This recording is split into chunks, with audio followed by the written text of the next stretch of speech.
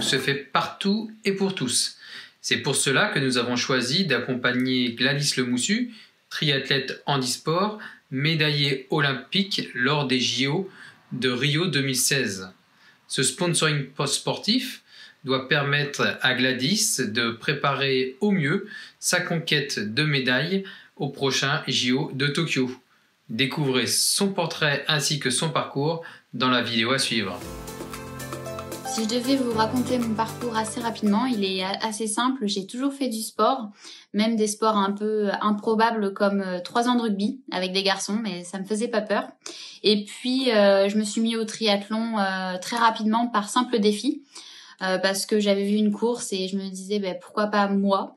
Et puis de fil en aiguille, en fait, me voilà partie sur une course, alors où j'ai loué un, un, vieux vélo, une vieille combi et et des baskets et, bon moi je suis pas arrivée dans les premières plutôt dans les dernières mais euh, au final une satisfaction à l'arrivée euh, qui m'a donné envie de bah, de continuer euh, le sport du triathlon et depuis bah, j'en démords plus.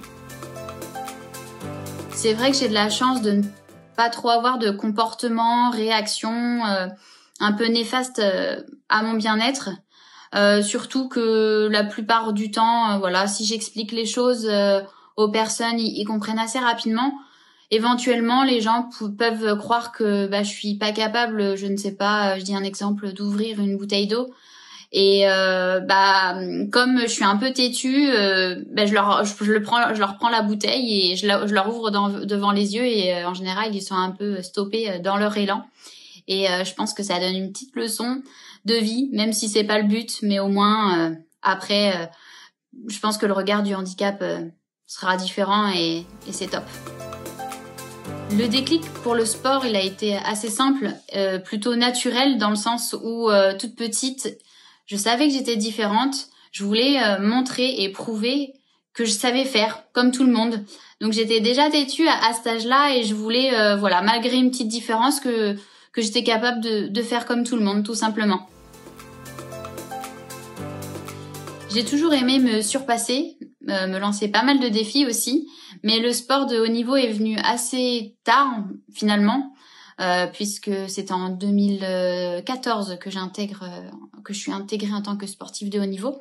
Mais l'envie a toujours été présent. C'est vrai quand j'étais enfant, je regardais les Jeux paralympiques et olympiques à, la télé et je disais, maman, plus tard, j'aimerais être parmi eux. Donc c'est un rêve qui s'est réalisé. D'autant plus que j'ai fait une médaille à Rio et j'espère qu'à Tokyo, euh, bah, il y en aura encore une meilleure. Je pense que mon entourage a été bénéfique euh, pour mon évolution et euh, mon optimisme et ma ténacité dans le sens où quand on a un enfant, on va dire en situation de handicap, on a tendance souvent à le, à le protéger, à faire les choses à sa place. Et moi, ça a été complètement l'inverse. Mes parents me laissaient faire par moi-même les choses et comme je suis assez têtue, du coup, euh, bah, j'y arrivais assez souvent. Mais euh, pour dire que ça a été vraiment un, bénéfice et, et je, je pense que j'en suis là aujourd'hui euh, un peu grâce à ça. Euh, parce que faut se battre coûte que coûte.